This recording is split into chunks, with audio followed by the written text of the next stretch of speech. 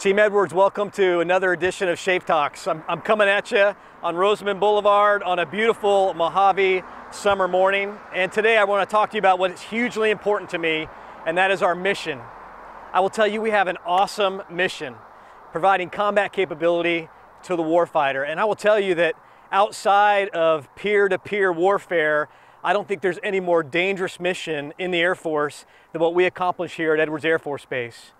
We take unproven technology and we push it to the limits and we hone it and refine it to give it to the warfighter to execute our important mission of combat capability for our nation.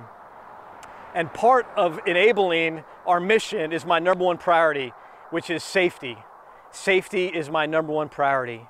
And behind safety is a culture of compliance. Compliance is what allows us to have a culture of safety. It's, it's following the rules whether that's on the flight line, whether that's test discipline in the control room, or when I'm flying my F-16 and making sure that I don't violate any of the limits in the cockpit in the airplane.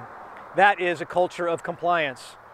So this culture of compliance, knowing our, our AFIs and our regs and our laws, doesn't just stop in the workplace. It applies to the entire entirety of Edwards Air Force Base, especially on our roads. And so a speed limit to me is a limit. There's no plus five or plus 10 miles an hour. It's not about seeing how fast I can go until I get caught.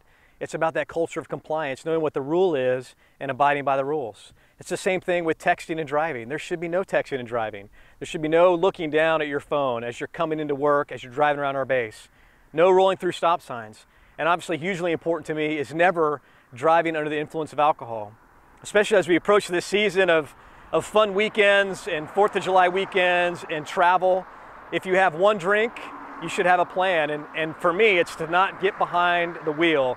That is a culture of compliance and what I expect out of everybody. So just so you know, I have high expectations for everybody at Edwards Air Force Base. And it starts executing our important mission and it extends through the entire base. So please help me Talk to your spouses, talk to your children, talk to the people that are first coming into the unit to let them know about our culture of compliance, which enables the number one priority on the base, which is safety, which allows us to do our important mission for the nation every day.